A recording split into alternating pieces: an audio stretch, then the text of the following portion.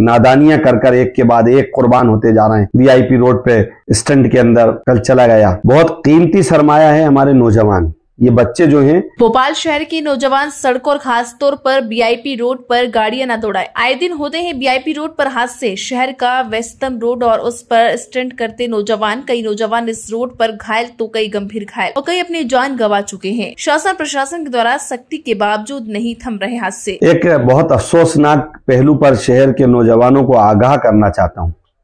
बहुत कीमती सरमाया है हमारे नौजवान। ये बच्चे जो हैं बहुत कीमती हैं। इनकी अहमियत है। ये मिल्लत का वो सरमाया है जो घर का मुस्तकबिल भी और मुल्क का मुस्तकबिल भी और शहर का मुस्तकबिल भी इन्हीं के कंधों पे उम्मीद लगाए बैठा है। और ऐसे हालात में ये बच्चे ज़रा ज़रा सी नादानियाँ कर कर एक के बाद एक कुर्बान होते जा रहे हैं।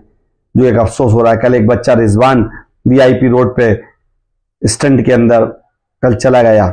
मैं आज उसके घर होकर आया। बेपनाह तकलीफ़ थी। बच्चा बकरा ईद पे मुझसे मिलने आया था। बहुत अच्छा बहुत खूबसूरत बच्चा था। आज भी उसकी शक्ल आँखों में गूंज रही। जब मेरा ये हाल है, मैं उसके दोस्तों का, मोहल्ले वालों का ये हाल है तो घर वालों का क्या होगा? मैं भोपाल शहर के नौजवान बच्चों से दरखास्त करूँगा। मेहरबानी करके फजर के बाद घर में तिलावत करें, या कारोबार करें, या आराम करें। लेकिन स्टैंड बंद कर दें वीआईपी पे। जाए, क्योंकि एक के बाद एक, कई साल से मैं अपने ऐसे नौजवान साथियों को खोता हुआ देख रहा हूँ। इससे पहले नासिर अरब अंसारी हमारे एक दोस्त थे, उनका बेटा शहीद हुआ। हमारे एक और दोस्त है अनवर मियाँ, उनका बच्चा शहीद हुआ। एक मिलने वाले कोई फिजा के थे, उनके बच्चे शहीद हुए।